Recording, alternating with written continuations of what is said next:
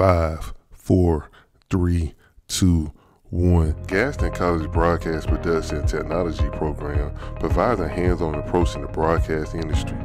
Students will have the opportunities to work in a professional studio environment. You will also have the opportunity to work on set for the public access show Gaston Spotlight.